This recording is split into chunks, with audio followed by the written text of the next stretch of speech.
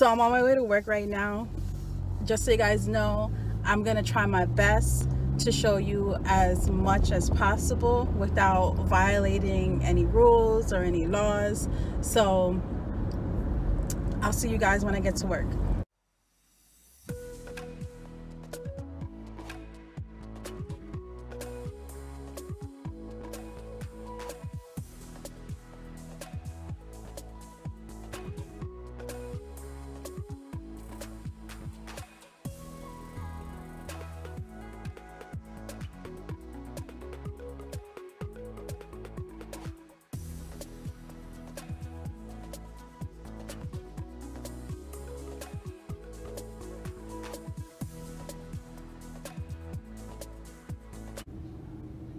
So before I start my shift, I usually disinfect everything with this. I wipe down my computer with this and then I wipe down my little walkie-talkie with this, my badge, everything.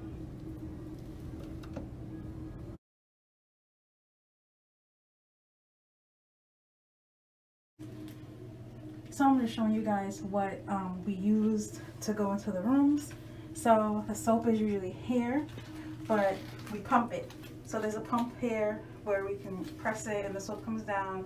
And then here you put your leg in and the water comes down. So you don't have to touch anything. So we're responsible for doing vital signs. So each room has their own vital sign machine. And also each room has an SCD machine. So it's going on 2 o'clock now and I got here at 10.30. The first thing I did when I got here I took report. I did walking rounds with the other nurse tech. Um, after we did work walking rounds, um, someone had to go to the bathroom so we put them on the bedpan really quick.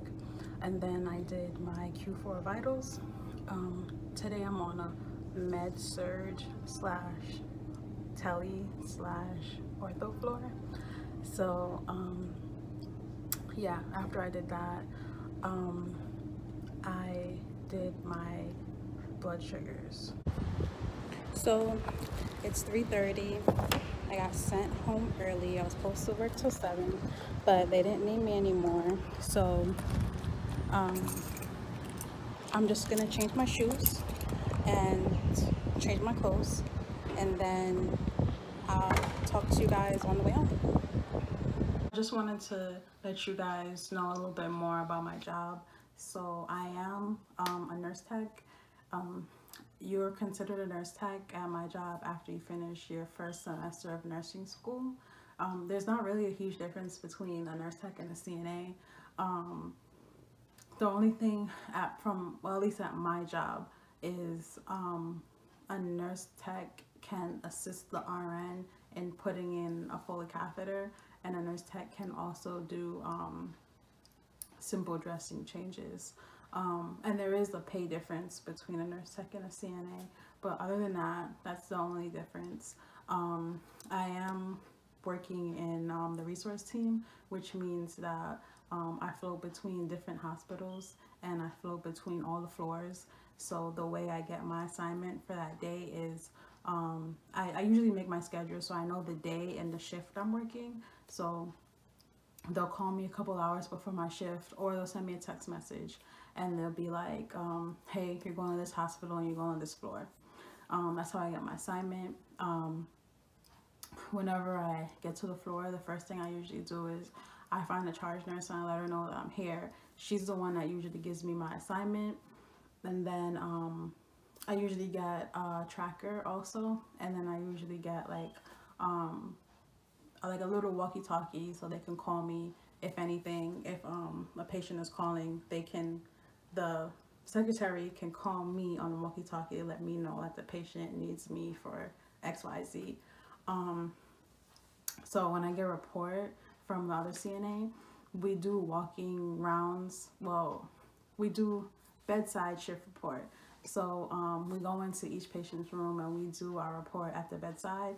So we do it like that because just in case like, you know, you forget to add something in report, the patient can always like chime in and say like, hey, like I want her to know this or um, just anything that the patient wants to add. Like the patient might want might might say like, hey, um, I don't know, like I only drink water with no ice, like something like that.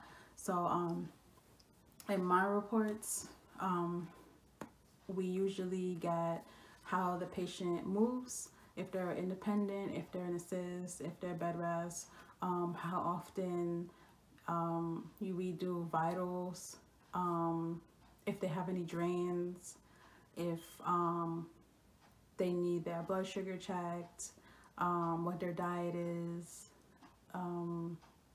I usually get who the nurse is, just in case anything, I know who to call. Um, if they're hard of hearing, um, if they use any assistive devices like canes, walkers, um, basically anything that I would need to know to um, do my job. Um, we get that, all of us usually get that in report. Um, if they're a Q2 turn, um, things like that, basically. Normally the CNAs, we have to do um, hourly rounding. So we would do like the odds and the nurses will do the even. So the nurses would check every two, four, six, and then we'll check at like one o'clock, three o'clock, five o'clock, so on. So the patient is being checked on basically every hour by somebody. It's also the CNA's job to set up the room if a new patient is coming. So the setup is basically the same all across every floor that I go to. The only exception is ICU because when I go there, they have their own special setup.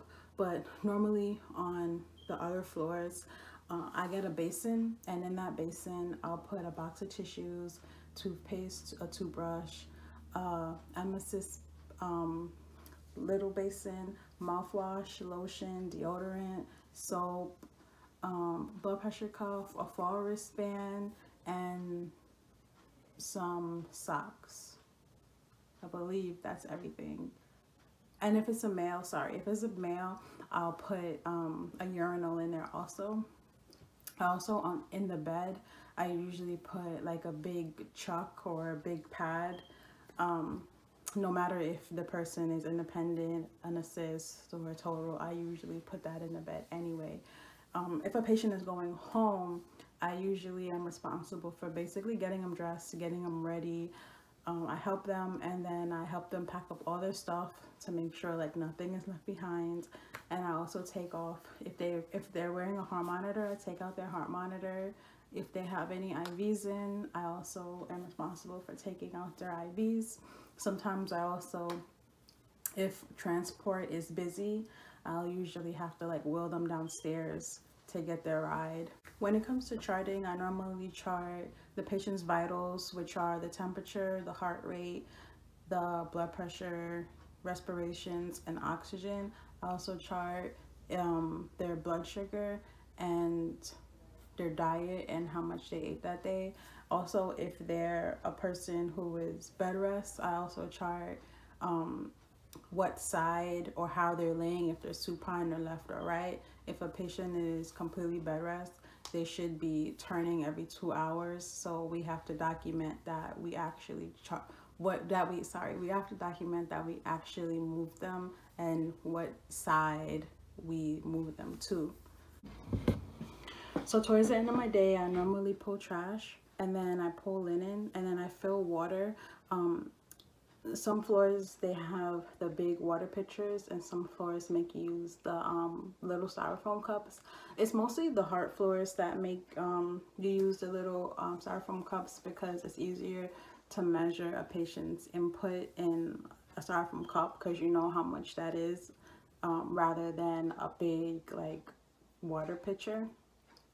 Another thing I forgot to mention is that I do um, EKGs also, and that is a skill that I learned at work. They taught me it there, so that's a part of my job that if um, any patient, not, not only my own patient, but if um, any patient on the entire floor, if they need an EKG and they know that you know how to do it, then it is your job to go and do the EKG on that patient. But other than that, that's basically it. Um, I have never worked in an assisted living, home health, or um, a nursing home. I have always been in a hospital, so um, I don't know what it's like in any other facility, but that's basically a rundown of how it works at mine. So if you guys have any questions or comments, just leave them below and I'll see you in my next video.